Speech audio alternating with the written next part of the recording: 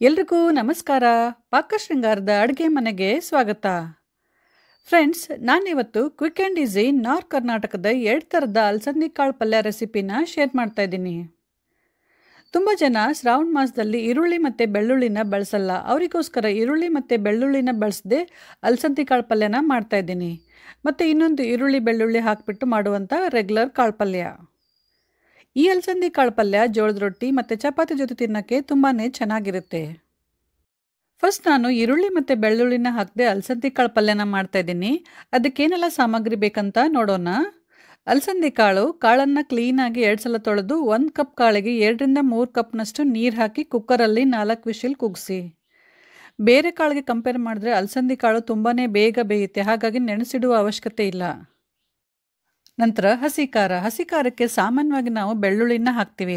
ಆದರೆ ನಾನಿವತ್ತು ಈ ಹಸಿ ಖಾರದಲ್ಲಿ ಹಸಿಮೆಣಸಿನ್ಕಾಯಿ, ಜೀರಿಗೆ, ತುರಿದ ಒಣ ಕೊಬ್ಬರಿ, ಕೊತ್ತಂಬರಿ ಮತ್ತು ಕರಿಬೇವನ್ನು ಹಾಕಿ ನೀರು ಹಾಕ್ತೇನೆ. ಮಿಕ್ಸಿಯಲ್ಲಿ ಪೇಸ್ಟ್ ಮಾಡಿ ಇಟ್ಕೊಂಡಿದ್ದೀನಿ ಹಸಿ ಖಾರದ ರೆಸಿಪಿ ನಾನು ಆಲ್ರೆಡಿ ಶೇರ್ ಮಾಡಿದ್ದೀನಿ ಅದರ ಲಿಂಕು ಡಿಸ್ಕ್ರಿಪ್ಷನ್ ಬಾಕ್ಸಲ್ಲಿದೆ. ಆಮೇಲೆ ಹುಣಸೆ ರಸ, ಬೆಲ್ಲ, ರುಚಿಗೆ ತಕ್ಕಷ್ಟು ಉಪ್ಪು, ಅರಿಶಿನ ಪುಡಿ, ಗುರೆಳ್ಳು ಅಥವಾ ಹುಚ್ಚೆಳ್ಳು ಪುಡಿ, ಗುರೆಳ್ಳನ್ನು ಹುರಿದ್ಬಿಟ್ಟು ಪುಡಿ ಮಾಡಿ ಇಟ್ಕೊಂಡಿದ್ದೀನಿ ನಂತರ ಎಣ್ಣೆ ಸಾಸಿವೆ, ಜೀರಿಗೆ, ಇಂಗು, ಕರಿಬೇವು ಮತ್ತು ಕೊತ್ತಂಬರಿ ಸೊಪ್ಪು. ಇವಾಗ ಒಂದು ಕಡಾಯಿ ಬಿಸಿ ಮಾಡೋಕ್ಕಿಡಿ.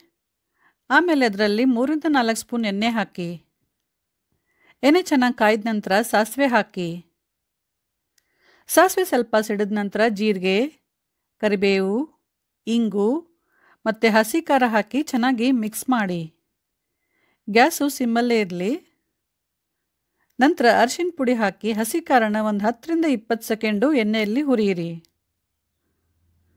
ಇವಾಗ ಬೇಯಿಸಿದ ಅಲಸಂದಿ ಕಾಳು ಹಾಕಿ.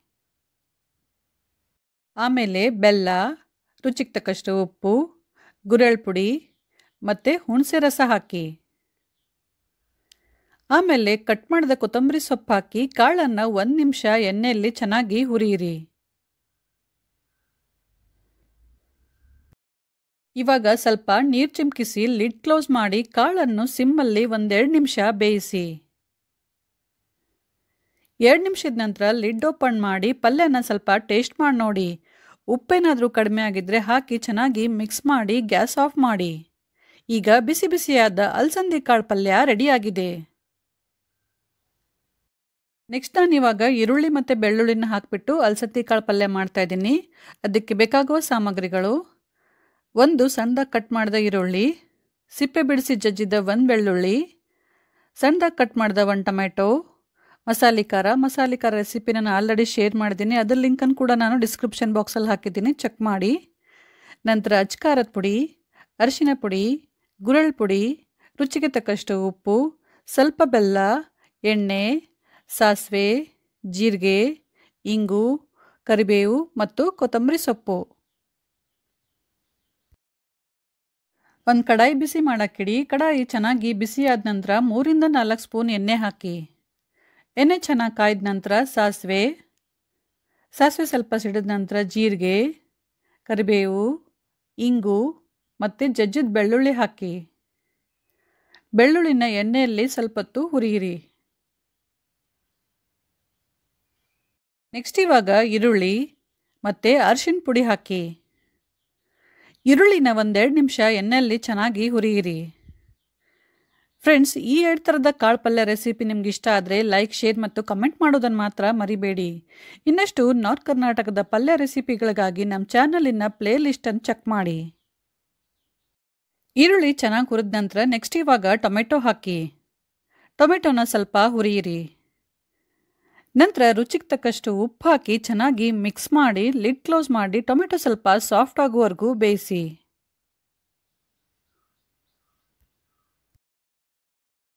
ಟೊಮೆಟೊ ಸಾಫ್ಟ್ ಆದ ನಂತರ ನೆಕ್ಸ್ಟ್ ಇವಾಗ ಇದರಲ್ಲಿ ಕುದಿಸಿದ ಅಲಸಂದಿ ಕಾಳು ಹಾಕಿ. ಆಮೇಲೆ ಮಸಾಲೆ ಖಾರ, ಅಚ್ಕಾರದ ಪುಡಿ ಗುರೆಳ್ ಪುಡಿ, ಬೆಲ್ಲ ಮತ್ತು ಕಟ್ ಮಾಡಿದ ಕೊತ್ತಂಬರಿ ಸೊಪ್ಪು ಹಾಕಿ. ಚೆನ್ನಾಗಿ ಮಿಕ್ಸ್ ಮಾಡಿ. ಕಾಳನ್ನು ಒಂದು ನಿಮಿಷ ಎಣ್ಣೆಯಲ್ಲಿ ಚೆನ್ನಾಗಿ ಹುರಿಯಿರಿ. ಗ್ಯಾಸು ಸಿಮ್ಮಲ್ಲೇ ಇರಬೇಕು. ಇವಾಗ ಕಾಳಲ್ಲಿ ಸ್ವಲ್ಪ ನೀರು ಚಿಮ್ಕಿಸಿ. ನಿಮಗೆ ಕಾಳು ಪಲ್ಯ ಸ್ವಲ್ಪ ಗ್ರೇವಿ ಥರ ಬೇಕಂದರೆ ಇನ್ನೂ ಸ್ವಲ್ಪ ಜಾಸ್ತಿ ನೀರು ಹಾಕ್ಕೋಬೋದು. ಇವಾಗ ಲಿಡ್ ಕ್ಲೋಸ್ ಮಾಡಿ ಗ್ಯಾಸನ್ನು ಸಿಮ್ಮಲ್ಲಿಟ್ಬಿಟ್ಟು ಕಾಳನ್ನು ಎರಡು ನಿಮಿಷ ಬೇಯಿಸಿ. ಎರಡು ನಿಮಿಷದ ನಂತರ ಲಿಡ್ ಓಪನ್ ಮಾಡಿ ಚೆನ್ನಾಗಿ ಮಿಕ್ಸ್ ಮಾಡಿ ಗ್ಯಾಸ್ ಆಫ್ ಮಾಡಿ. ಈಗ ಬಿಸಿ ಬಿಸಿಯಾದ ಅಲಸಂದಿ ಕಾಳು ಪಲ್ಯ ರೆಡಿ.